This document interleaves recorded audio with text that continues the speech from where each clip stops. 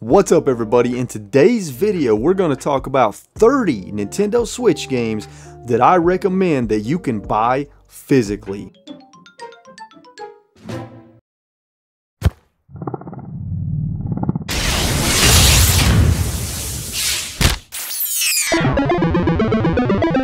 Before we get in today's video, we're going to share a quick promo for another of my fellow YouTubers and they are going to tell you all about their channel and their channel is Retro Rivals which I will leave a link to in the description down below. So I'm going to go ahead and turn it over to them and let them tell you about their awesome YouTube channel. Here we go.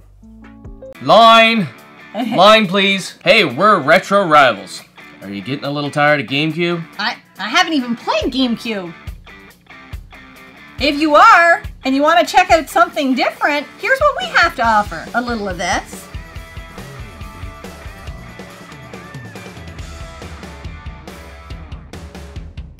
Or a little bit of this. And a tiny bit of this. Or how about that?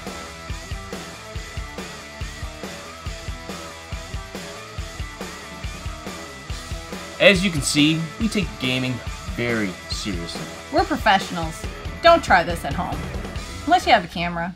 Just a few quick disclaimers before we get into the list. First off, there are 30 games here, so I am not going to talk about each game very long. And because of the short amount of time I'm going to talk about each game, you may or may not see any gameplay or B-roll. It really just depends. So please keep that in mind. Also, these are all games that you can buy physically that are not limited releases. So I'm not covering any limited run physical releases in this video. We'll save that for another video. And if this video does well and you want to see more Nintendo Switch recommendations, then I will make a follow-up video with even more and I may even do a video about releases that I have digitally that I don't have physical copies of as well.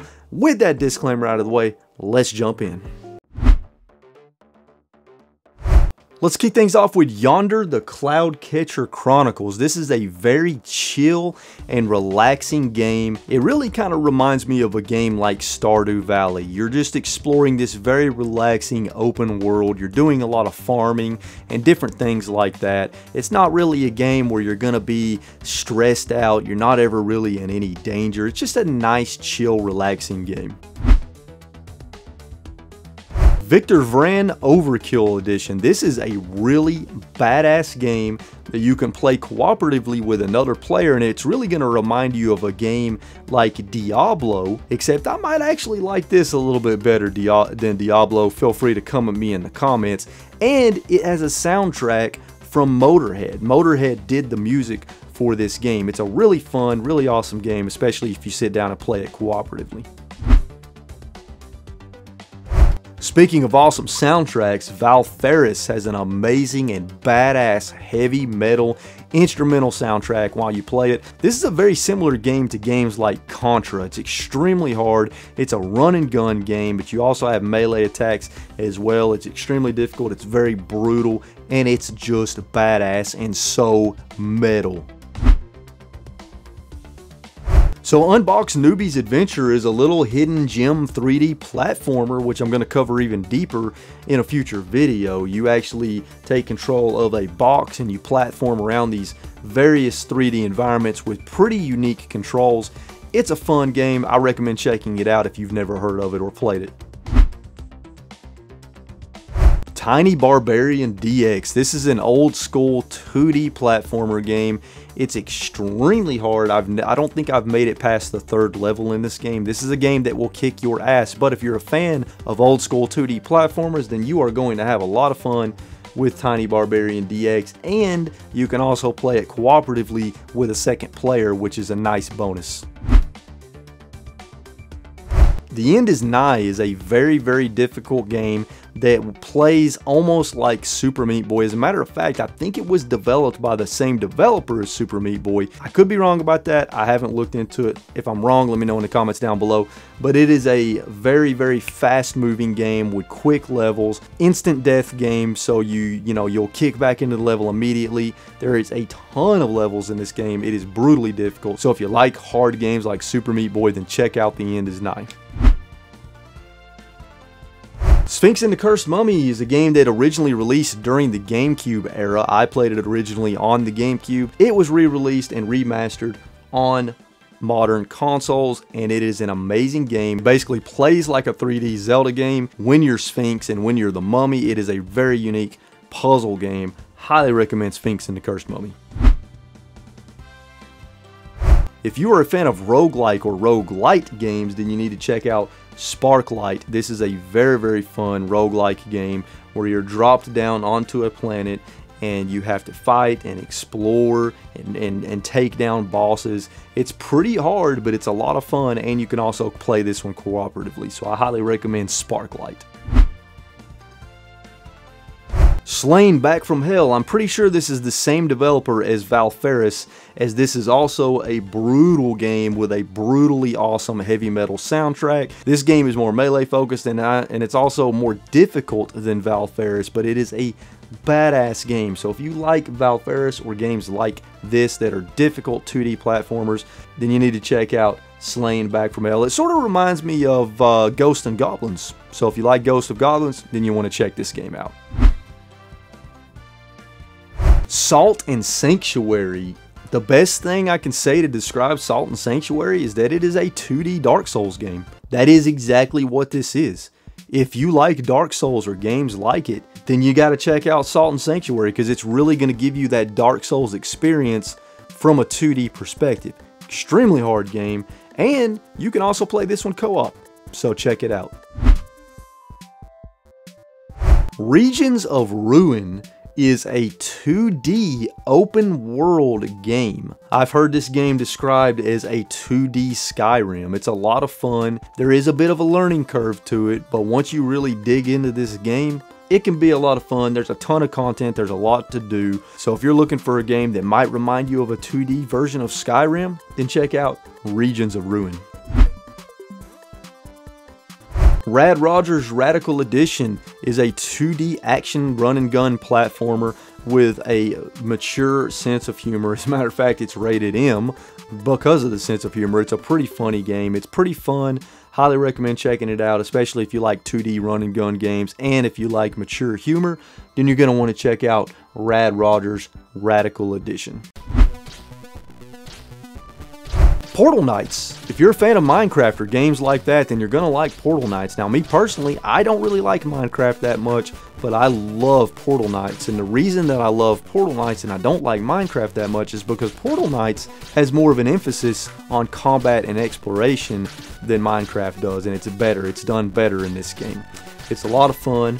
There's a lot of options for building too, if that's your kind of thing, but there's also a whole quest you can embark on, and it's just an awesome game. So if you like games like Minecraft, but you want more combat and exploration, then check out Portal Knights. Poi Explorers Edition. This is another 3D platforming hidden gem on the Switch, which I'm going to cover in a future video. It is a 3D platformer. It's a lot of fun. I never hear anybody talk about this game it might give you some Super Mario 64 vibes or vibes from other 3D platformers of that era. So if you're a fan of 3D platformers, then you got to check out Poi Explorers Edition. Owlboy. What a beautiful game. Beautiful, beautiful game with an amazing soundtrack, amazing gameplay. It's short, but it's short and sweet, has a fantastic story. Actually, not gonna lie, I actually teared up a bit in the story in this game, and that does not happen to me very often, especially with a 2D game.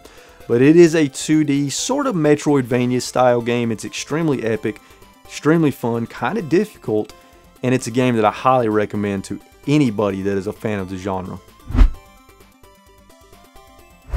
Darkest Dungeon. This is an extremely brutal and dark RPG game. It's not really an exploration based RPG game though. You have like a hub world and then you dive into the dungeon with your team and it has permadeath just like a game like Fire Emblem. It's extremely hard. It's a very dark and depressing game, but if you like difficult games that also have RPG elements to them, then you're going to love Darkest Dungeon. Moonlighter, this is an amazing game. It's also a it's a roguelike, but it's a roguelike with a twist. By day, you are a shop owner. You manage a shop for adventurers to come to buy things for their adventures, but at night, you actually dive into the dungeon yourself to get new merchandise and new weapons and new gear to sell in your shop as well as for yourself and to get gold to upgrade your shop and upgrade your town. So it's almost like a shop sim combined with a roguelike dungeon crawler and it's a lot of fun. So check out Moonlighter.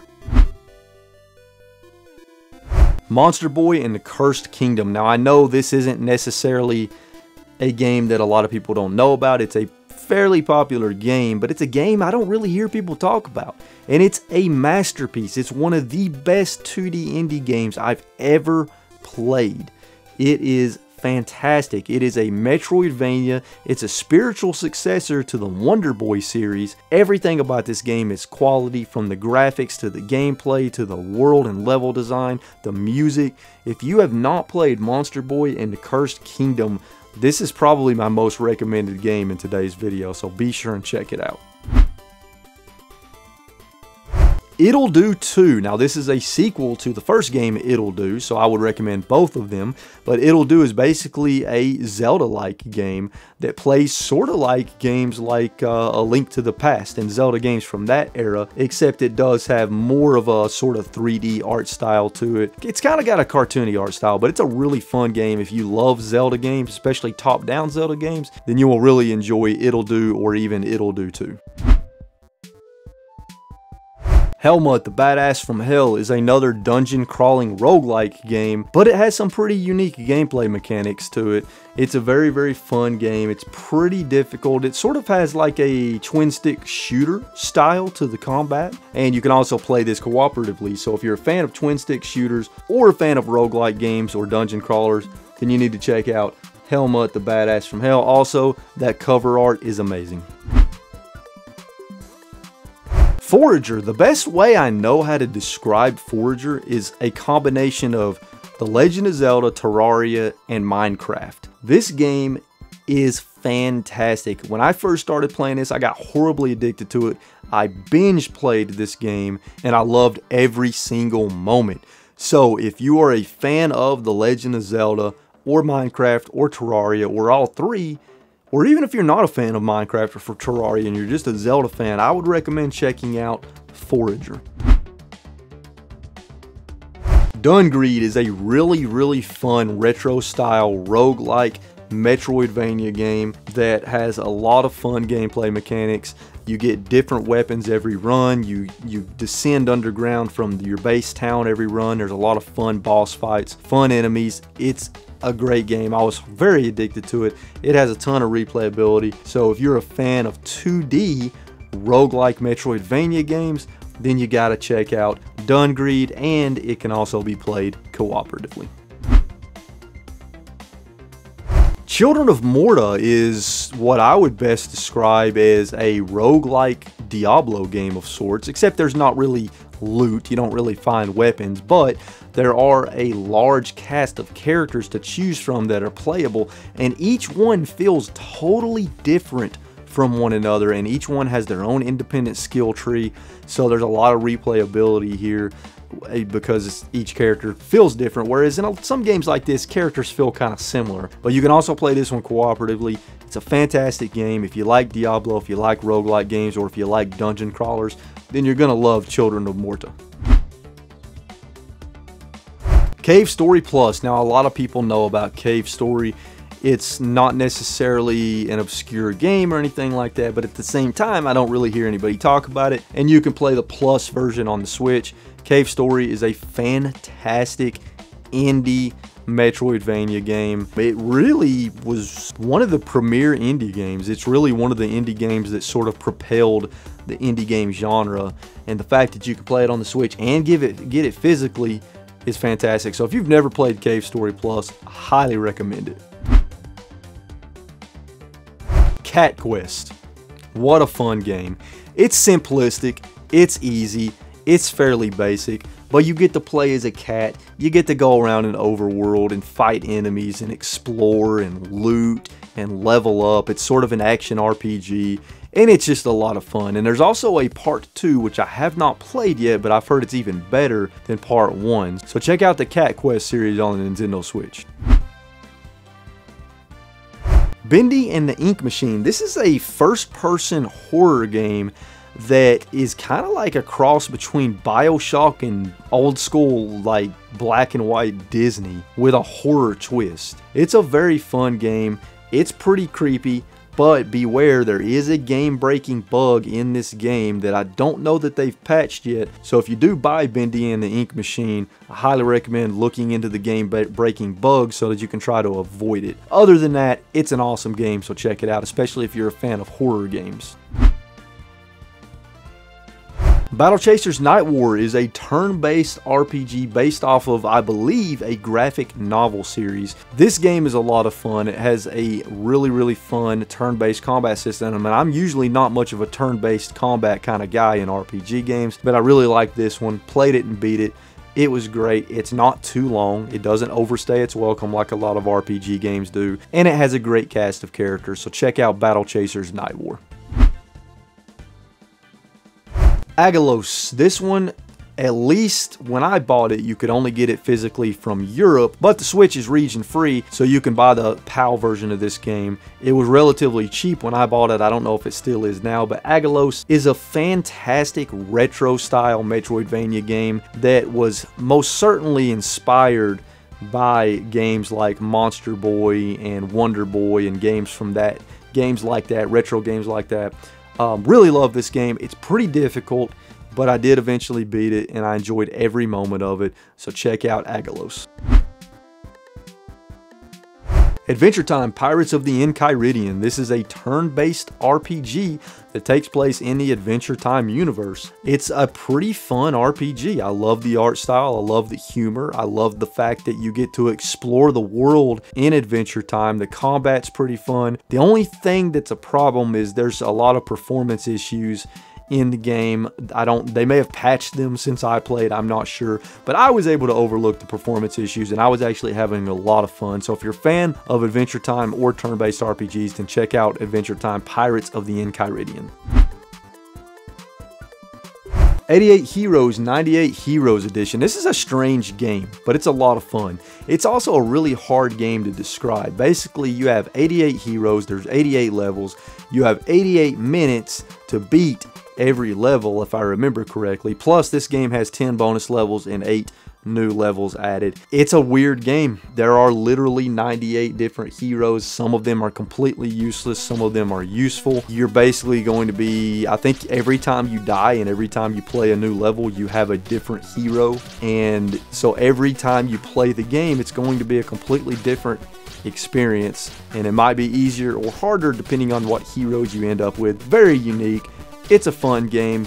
It doesn't always work the way you want it to, but I did have a lot of fun playing this one. I wasn't able to beat it though because it's pretty damn hard, but it's definitely unique. So check out 88 Heroes, 98 Heroes Edition. Well, there you have it, folks. 30 games that I recommend you check out that you can get physically on the Nintendo Switch. Let me know in the comments down below if you've played any of the games that I covered in today's video and what you think about them. Also, let me know in the comments down below if there are any physical Switch games that are sort of obscure, maybe not talked about a lot, that you recommend that I cover in a future video. Like I said, if this video does well, I will probably do a follow-up or even multiple follow-ups. So let me know if you would like to see more of these videos in the description down below. And yes, I know a lot of these were indie games, but you know what?